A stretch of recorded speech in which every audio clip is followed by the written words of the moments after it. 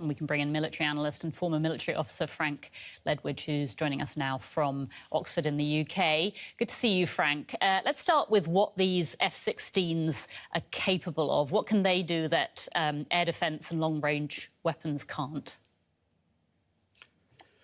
Good afternoon. Well, they offer an extra capability in the air defence domain, in that, unlike missiles, of course, they are dynamic, they're manned, and they can react very quickly, provided, of course, they're in the air.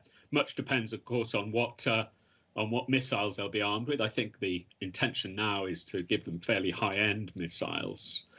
Uh, but of course, in the strike domain, that is to say, the bombing function, I think it's very unlikely they'll be using these F-16s at all, or if so, very rarely takes a long time to integrate the systems necessary and particularly to penetrate the extremely strong Russian air defense system. So they'll add another arrow to the quiver, as it were, but they're in no way decisive or, or for that matter, a game changer.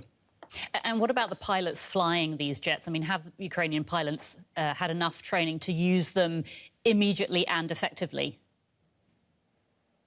Compared with NATO pilots, the answer is absolutely not. So, uh, probably the best trained pilots will have had roughly 15 months.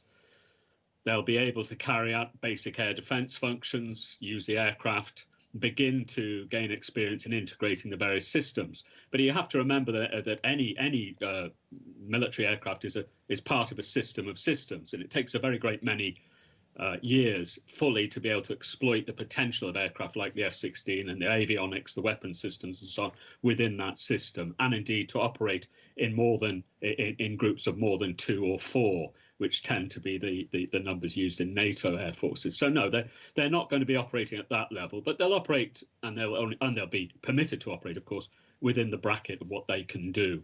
Uh, but by Western standards, they're, they're not well trained enough really to exploit the potential of this system. Fully. Okay.